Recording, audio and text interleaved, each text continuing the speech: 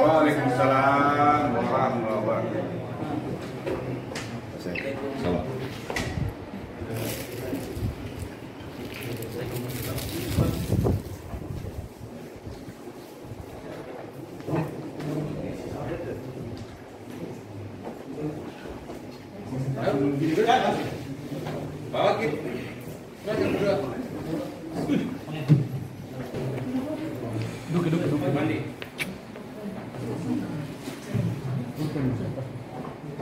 yang kami hormati kami banggakan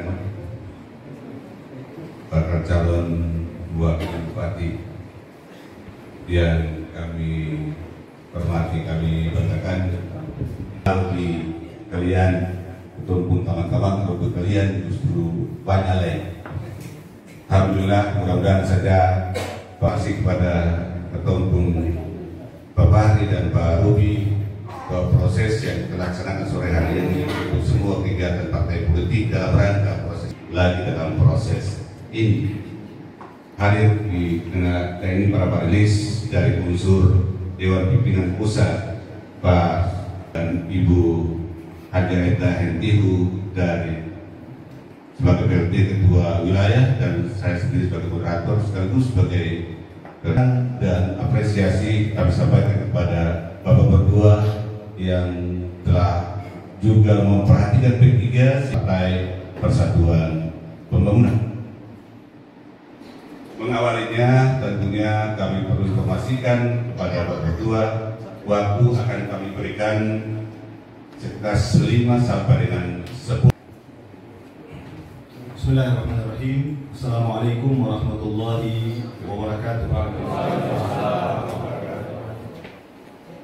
Para panelis yang saya hormati dari DPP, Tanta Eta, Bukti Berita dan Bang Awin, dari akademisi ada Pak Kabakoran, Pak Lidori, dan eh, kolega lama Pak sebagai moderator, Pak Arun Gilian sebagai bakal calon wakil bupati dan hadirin sekalian, eh, fungsionaris dan keluarga besar ketiga serta pendukung kami yang saya cintai. Yang pertama, saya berbahagia sekali berada di tengah keluarga besar ketiga karena eh, cerita akar sejarah semua kita tidak keluar sebenarnya dari dari dari cerita ketiga sebelum ada partai-partai baru di zaman reformasi. Jadi saya merasa berada di, di lingkungan keluarga sendiri. Yang kedua, pilkada kali ini di, di Maluku kita adalah satu dari empat daerah yang harus eh, melaksanakan pilkada di 2020 sementara masa jabatan kami sebagai bupati dan wakil bupati di Seram bagian timur itu baru selesai nanti di Februari tahun 2021. Ini sesuatu yang juga sebenarnya secara psikologi tidak terlalu enak. Karena kita terpaksa harus menentukan sikap politik sementara di sisi lain masih menjabat berpasangan dengan dengan eh, abang saya sendiri Pak Mukti Kiliobas tapi itulah ketentuan eh, peraturan perundang-undangan jadi eh, harus ada alasan. Harus ada alasan atau dasar mengapa saya harus mengambil keputusan berpisah dengan abang saya Pak Mukti Kiliobas di antara alasan itu adalah karena kalau kita 2015 dulu maju dengan akronim mufakat, ya, harapannya sebenarnya dalam perjalanan pemerintahan ini kita dalam agenda-agenda besar membangun Kabupaten Seram bagian Timur, kita akan banyak mencapai kemufakatan. Tetapi eh, dalam perjalanan akhirnya harus ada evaluasi dan diskusi yang panjang sebelum akhirnya saya memutuskan mengambil sikap maju sebagai kandidat calon bupati. Hal yang menjadi rujukan evaluasi itu salah salah satunya adalah capaian. Capaian pembangunan kami sampai hari ini masuk tahun keempat. Yang saya jelaskan adalah capaian kami berdua. Dan apa yang saya sampaikan adalah data yang bisa diakses oleh siapa pun dari berbagai sumber informasi. Salah satunya adalah dari BPS. Saya ingin menyebut misalnya IPM Kabupaten Seram bagian timur di tahun 2018 karena data 2019 itu bercerita tentang data 2018 SPT berada pada urutan ke-9 dari 11 kabupaten kota di Provinsi Maluku. Sementara urutan ke-9 dari 11 kabupaten kota. Kalau di Indonesia kita berada di urutan 465 IPM Indeks Pembangunan Manusia ur- urutan ke-465 dari 514 kabupaten kota se-Indonesia. Sementara target yang kita buat di RPJMD Kabupaten Seram bagian timur kita harus masuk di akhir tahun pemerintahan kami dalam lima besar. Sementara kita sekarang masih berada di urutan ke 9. Di bawah kita hanya ada Kabupaten MBD dan MTB.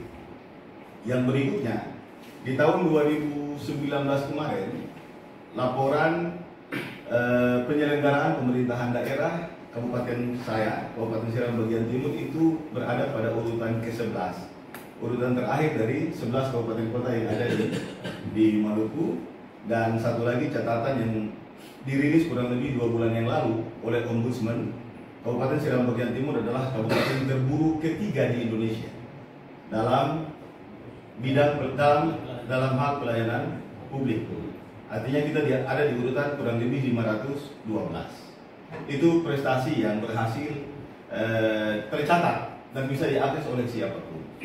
Semangat yang awalnya kami bawa untuk mendorong percepatan pembangunan di Kabupaten Seram bagian timur akhirnya tidak mendapatkan ruang yang terlalu eh, maksimal dan kondusif sehingga dengan eh, semangat yang sama untuk periode yang akan datang saya memutuskan untuk eh, maju sendiri sebagai bakal calon bupati bersama-sama berkompetisi dengan abang saya Pak Mukti Keliobas dan insya Allah kalau eh, di diizinkan oleh Allah Subhanahu Wa Taala saya akan berpasangan dengan Pak Arobi Kelian. Ya, saya mengatakan insya Allah diizinkan oleh Allah karena sampai sekarang kan kita belum mendaftar di KPU. Tetapi sebagai kesepakatan kami berdua, insya Allah kami berdua akan akan mendaftar mudah-mudahan sampai di KPU. Nah, melihat latar cerita ini, maka saya membuat orat-oret tentang apa-apa yang mesti saya dorong dan saya perbaiki ke depan. Saya buat dalam visi yang agak panjang, tapi kalau kita singkat, saya ambil saja dari singkatan Seram bagian timur itu sendiri, yaitu sejahtera, bahagia dan terpelajar.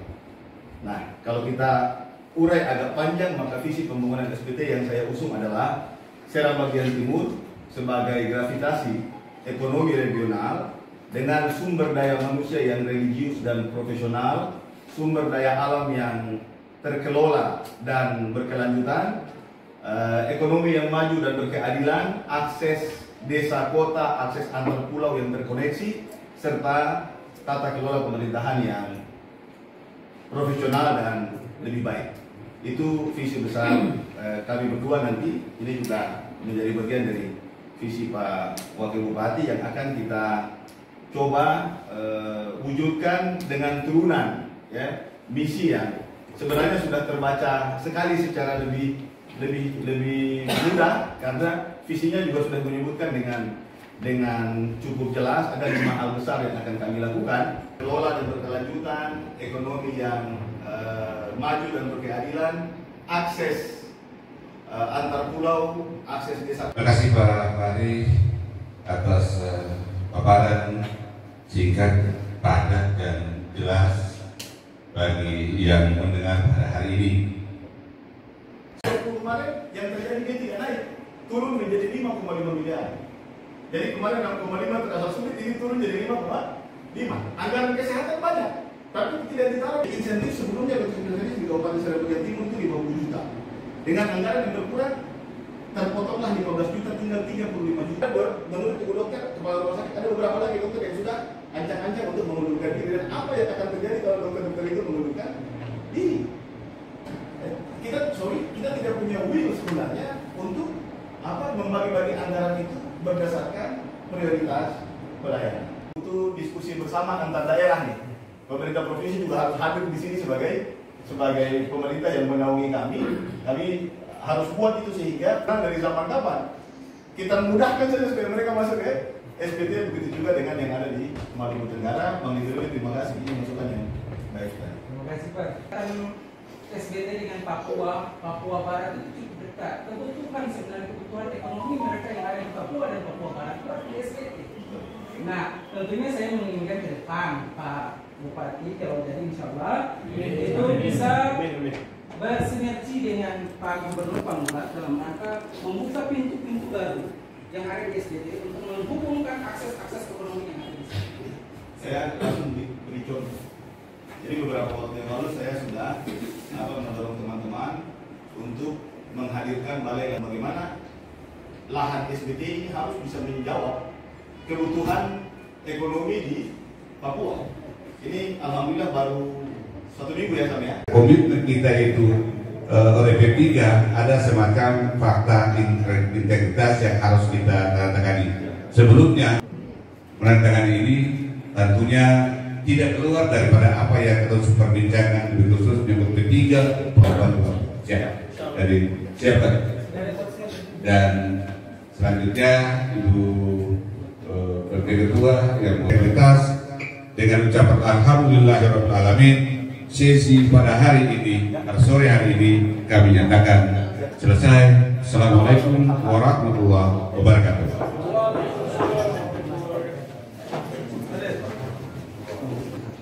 Satu